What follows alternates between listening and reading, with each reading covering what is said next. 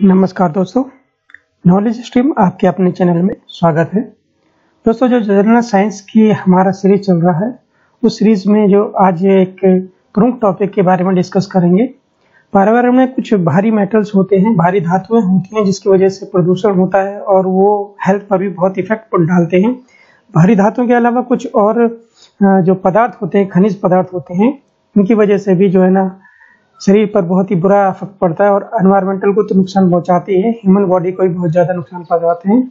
Examination point of view से और general information की पॉइंट ऑफ़ व्यू से भी बहुत इंपॉर्टेंट है टॉपिक चलिए तो आज स्टार्ट करते हैं। आज का टॉपिक है पर्यावरण प्रदूषण और रोग और भारी धातु और रोग। दोस्तों स्टार्ट करने से टॉपिक आपसे अनुरोध है कि अगर प्रेजेंटेशन आपको अच्छा लगता है कंटेंट आपको अच्छा लगता है तो चैनल को सब्सक्राइब करें। और कुछ आपके अगर सुझाव भी हैं तो हमें उनको बताएँ। कमेंट बॉक्स में उनको लिखें, ताकि हम और ज़्यादा इम्प्रूवमेंट करके जो है ना, अपनी क्षमता का विस्तार कर सकें और आपको जो है ना अधिक जानकारी प्रोवाइड कर सकें। और आपसे अनुरोध है कि इस चैनल को जो है ना, अपने दोस्तों के बीच में शेयर करें और बेल आइकन हाँ ज़रूर दबा लें, ताकि जो कोई भी नया वीडियो आता है तो उसकी नोटिफिकेशन आपको तुरंत मिल जाए। चलिए, एक नई उम्मीद, एक नई आशा के साथ जो है ना, एक नए दिन का शुरुआत करते हैं और बात करते हैं पर्यावरण प्रदूषण और रोग और धा, भारी धातु की वजह से और क्या क्या रोग होते हैं इसके बारे में। जो सबसे पहले है भारी धातु वो है मरकरी। मरकरी जो एक डिज़ीज़ की तरह जो है ना एनवायरमेंटल में जाना गया है। बेसिकली एक मिनिमाता रोग है, जो एग्ज़ाम्स में और बहुत पूछा जाता है कि मिनिमाता रोग किसकी वजह से होता है। मिनिमाता रोग बेसिकली पहली बार 1956 में कुमामोतो प्रांत है, जापान का मिनिमाता शहर है वहाँ पर। वहाँ पर खोजा गया था। उसका प्रमुख रीजन था कि वहाँ जो औद्योगिक इकाइयाँ थी, उनका जो एफ्लुएंट था मिथाइल पारा basically C H four H G उस एफ्लुएंट मिथाइल पारा की वजह से जो है ना ये बीमारी फैलती है। ये जो एफ्लुएंट है, वहाँ के जो रिजर्वायर हैं या पानी के जो स्रोत हैं इवन दो ये काफ़ी मात्रा में जो है समुद्र के में भी, के पानी में भी मिल गया था और वहाँ की मछलियाँ, यहाँ तक की मछलियाँ भी प्रभावित हुई थी। तो ये मिलमाता रोग उसी शहर के नाम से जो है ना मिलमाता है। बेसिकली ये मिथाइल पारा बेसिकली मिथाइल पारा की डंपिंग की वजह से है और मिथाइल जो पारा है वो इस रोग का कारण है। तो ये हैवी मेटल मरकरी है। मरकरी की वजह से ये रोग होता है। और ये गंभीर विषाक्तता, पारा विषाक्तता के कारण ये एक न्यूरोलॉजिकल सिंड्रोम है। इसमें जो है, आपकी न्यूरोलॉजिकल जो एक्टिविटी है, वो प्रभावित होती है, जिसमें जो है ना, हाथ और पैरों में जो ना, अकड़न आ जाती है और वो बैंड हो जाते हैं और उन पर कंट्रोल जो है ना न्यूरोलॉजिकल कंट्रोल खत्म हो जाता है। जैसे कि हम पिक्चर में देख चुके हैं। एक बच्चा है जो मिनीमाता रोग से प्रभावित है उसका हाथ कैसे बैंड हो गया है और नसों में अकड़न आ जाती है। जो हमारे रीढ़ की हड्डी है जो आ, उसमें भी बैंडिंग आ जाती है और चलने फिरने और डिफरेंट काम वर्क करने में भी परेशानी होती है। तो एक बहुत ही गंभीर बीमारी है मिनमाता रोग जो कि मरकरी हैवी मेटल की वजह से होती है। जो नेक्स्ट भारी धातु है हाँ, इसमें कुछ जो ये बीमारी है अमीनमाता रोग है, जो भारी धातु मरकरी की वजह से होता है। इसके कुछ लक्षण है, जैसे इटेक्सिया इटेक्सिया क्या होता है कि जैसे हम फिगर में देख पा रहे हैं, जो मनुष्य अगर चलता फिरता है तो उसको उस चलने फिरने में परेशानी होती है, वो ठीक से स्ट्रेट नहीं चल सकता है, जैसे कि हम यहाँ पर देख पा रहे हैं। और दूसरा, हाथ पैरों में सुन्नत आ जाती है मतलब एक काम करने की जो एक दर होती है, उसमें जो है ना कमी आ जाती है। हाथ पैर जल्दी से काम नहीं कर पाते हैं श्रवण और बोलने की क्षमता भी प्रभाव होती है। मतलब जो अगर इस रोग से ग्रसित हो जाता है मनुष्य, वो सुनने की और उसके जो है ना बोलने की क्षमता में भी बहुत बड़ा फ़र्क पड़ता है। यहाँ तक कि उसकी दृष्टि भी संकुचित हो जाती है मीन्स वो दूर की वस्तुएँ या पास की वस्तुओं को भी क्लियर नहीं देख पाता है। एक कॉग्निटल डिज़ीज़ है मतलब जन्मजात बीमारी भी है ये और जन्मजात बीमारी के रूप में भी इसका पता चला है कि अगर ये बीमारी माता को हो जाती है तो उसके बाद उसके पैदा होने वाले बच्चे को भी ये बीमारी जो है ना, प्रभावित करती है और गर्भ में भ्रूण को भी प्रभावित करती है। ये मिनमाता डिज़ीज़। तो ये मिन, हमने जो है ना मिनमाता डिज़ीज़ के बारे में पढ़ा, ये मरकरी की वजह से, यानी पारा की वजह से ये बीमारी होती है। अगली जो भारी धातु है, वो है कैडमियम। कैडमी की वजह से बहुत महत्वपूर्ण बीमारी होती है, जिसका नाम है एटाई एटाई ये तोयामा प्रांत जो जापान में, वहाँ 1912 में खोजा गया था। बड़े पैमाने पर जो कैडमियम का रिसाव हुआ था, या कैडमियम का एफ्लुएंट के रूप में जो है ना, वहाँ की जो वाटर रिसोर्स है और जो रिवर और समुद्र हैं, वहाँ पर वहाँ पर रिलीज़ किया गया था और ये कैडमियम की वजह से जो है ना बीमारी होती है, कैडमियम, जो कि एक भारी धातु है। और कैडमियम की विषाक्तता के कारण क्या होता है, ये मेन रूप से जो है ना, दो चीज़ों के बारे में जो है ना जाना जाता है कि जो हड्डी में नरमी आ जाती है। मीन्स जो हड्डी है, वो इतनी जो है ना स्ट्रेट नहीं रह पाती है और उसमें नरमी आ जाने के कारण जो है ना बैंड हो जाती है। जैसे फिगर में देख पा रहे हैं इस मनुष्य को अगर इटाई इटाई डिज़ीज़ हुआ है तो ये सीधे स्ट्रेट नहीं हो पाएगा यहाँ हम देख सकते हैं जो ये रीढ़ की हड्डी है, ये नॉर्मल कंडीशन में इसकी पोजीशन है, जब वो उसको कोई बीमारी नहीं मीटाट है, और धीरे धीरे जो है ना इस बीमारी का प्रकोप बढ़ता है तो पेट निकल रहा है, और ये बैंड होता चला गया तो इस तरीके से हड्डी की नरमी हो जाती है, और इस तरीके से पोस्चर बन जाता है। दूसरी जो महत्वपूर्ण भी इससे इफ़ेक्ट पड़ता है, प्रभावित होता है, वो किडनी प्रभावित होती है, और किडनी का फेल होना भी एक आम बात है। तो एक भारी धातु कैडमियम जिसकी वजह से इटा इटाई डिज़ीज़ होती है। एक नई और बहुत महत्वपूर्ण बीमारी जैसा देखे आ रहा है, blue baby syndrome. Blue baby syndrome एक पर्यावरण प्रदूषित, जो एलिमेंट है बेसिकली नाइट्रेट नाइट्रेट के प्रदूषण से जो है ना ये बीमारी होती है, ब्लू बेबी सिंड्रोम।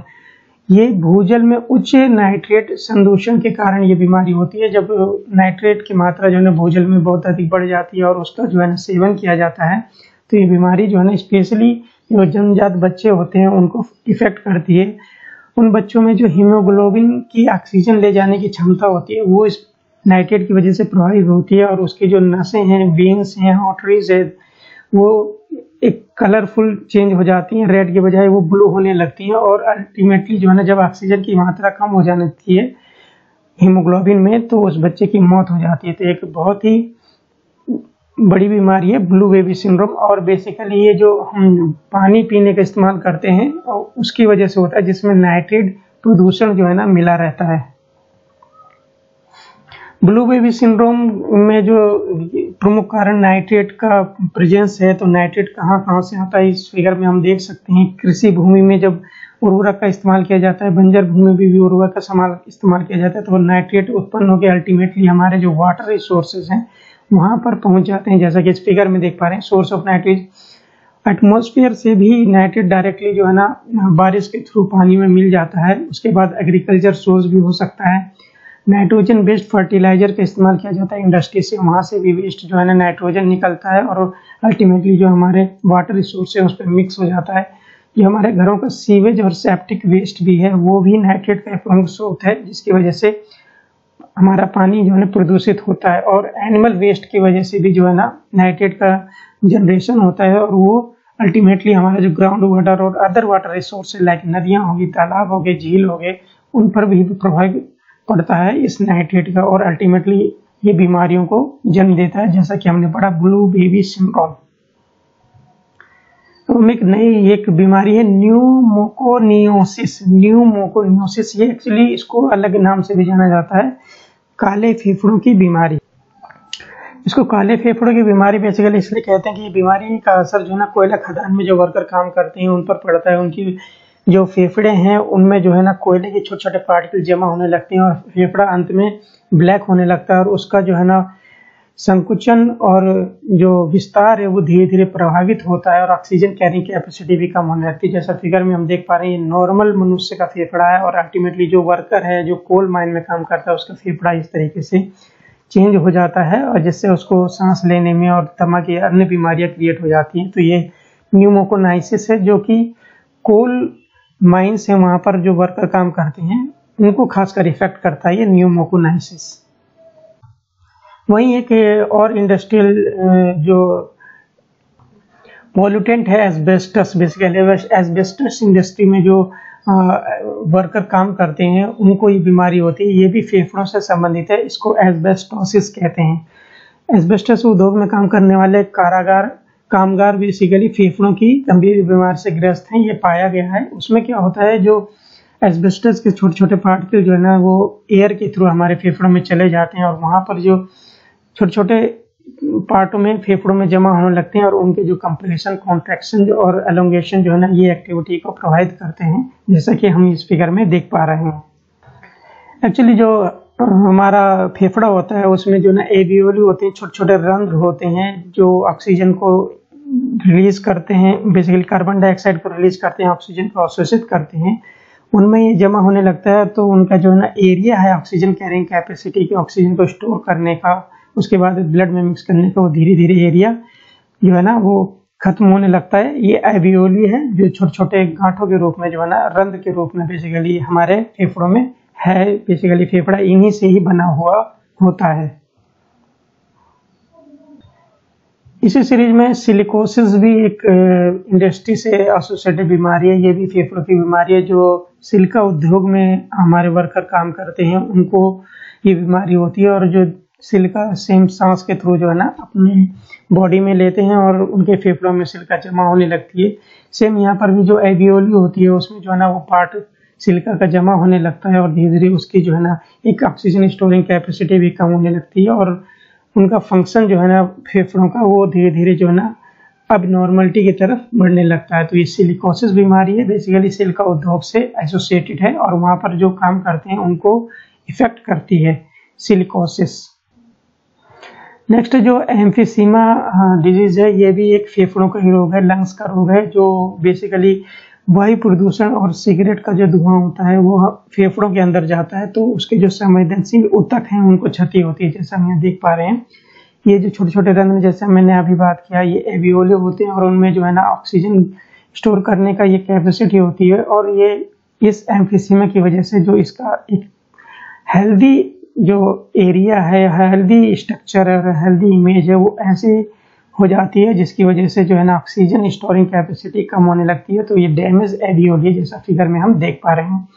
फेफड़ा का विस्तार और संकुचन ठीक से नहीं होता और सांस लेने में बीमार परेशानी होती है।